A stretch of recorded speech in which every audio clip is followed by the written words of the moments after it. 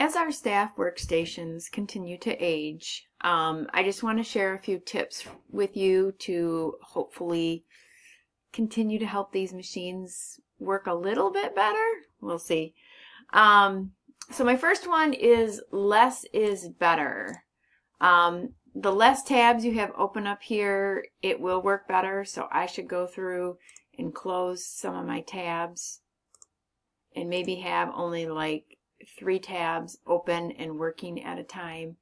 Um, if you need to, I do suggest maybe use bookmarks.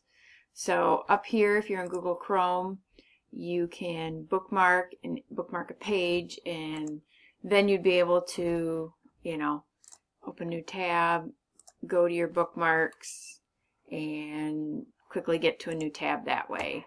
Especially if you're prepping for a lesson for the day, um, have those tabs maybe bookmarked and less is better.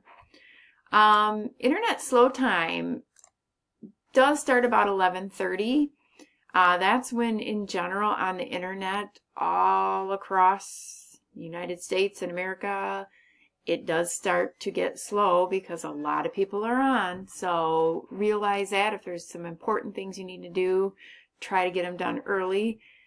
If it's teaching class, sorry, can't change it, but that just naturally happens. Um, avoid using some software like Word and PowerPoint. Um, the Office products, I know a lot of people, this is where they learn to do a lot of stuff and they love them. But you know what? Um, that is one thing that works really, really slow on these computers. Um, for most staff members, uh, Google, the Google apps like Docs and Slides usually work fine. I know there's a few special situations you might need to use um, like an Office product, but in general, let's start reverting over Docs and Slides. And if you need a little help on it, just let me know. Um, I think they're actually easier to use because there's less bells and whistles to confuse you. And then also, before we head out for the summer, uh, Tech is going to try to re-image computer stations.